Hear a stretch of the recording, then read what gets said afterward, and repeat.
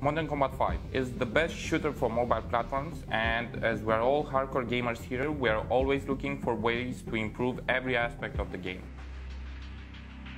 The next update will be the best so far and we're really happy that besides improvements, we're also bringing new features and content you guys asked for. The first feature I'd like to share with you is the custom lobby. It was requested by many of our fans and we understand that playing in a really competitive environment actually requires a way for players to train without having their stats affected. This should not only help squads that are looking to test and improve their strategy, but also new players that are not yet ready to jump into ranked games. Since you can so easily connect or watch your friends, the custom appearance makes so much more of a difference, not only to the player wearing the items, but to those who look up to them as well. That is why patch 1.8 brings in two new armor sets. When we design armors, we imagine the coolest ways you can look and balance them with useful perks.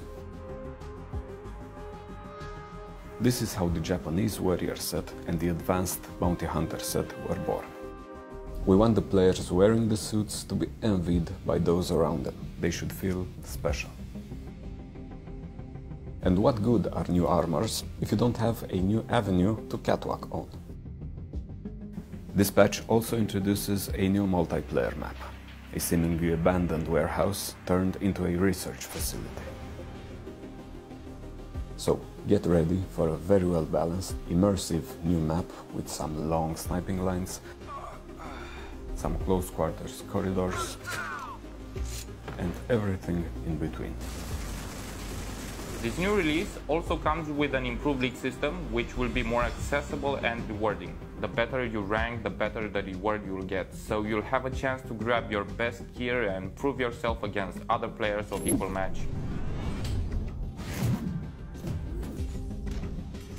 With the help of the new referral system, the update will give players the option to invite friends who are not playing yet, and if they accept the challenge, both will be rewarded handsomely.